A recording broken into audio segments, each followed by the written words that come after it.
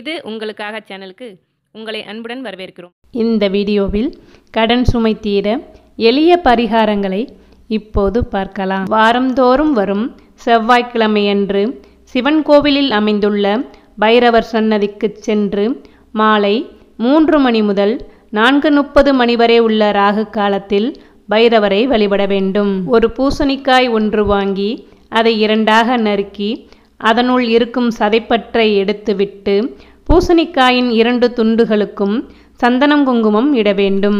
ஒரு புதிய சிவப்பு காட்டன் துணி வாங்கி வந்து அதை இரண்டு சிறிய துண்டுகளாக நறுக்கி கொள்ள வேண்டும். ஒவ்வொரு சிவப்பு காட்டன் துணியிலும் நூற்றி எட்டு என்ற எண்ணிக்கையில் மிளகு வைத்து முடிந்து திரிபோல செய்து கொள்ள வேண்டும். இந்த மிளகு முடிச்சை பூசணிக்காயின் ஒரு பக்கத்தில் இட்டு நல்லெண்ணெய் ஊற்றி விளக்கேற்ற வேண்டும். அதேபோல் மற்றொரு முடிச்சையும் போட்டு விளக்கேற்ற வேண்டும். ஒவ்வொரு செவ்வாய்க்கிழமையின் ராகு காலத்தில் பைரவருக்கு பூசணிக்காய் மிளகு விளக்கு ஏற்றி வழிபட வேண்டும்.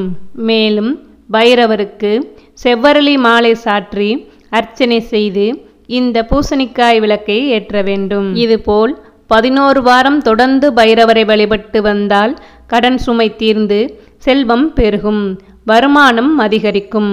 மேலும் இது போன்ற தகவல் அறிய இது உங்களுக்காக சேனலை சப்ஸ்கிரைப் பண்ணுங்கள் இது உங்களுக்காக.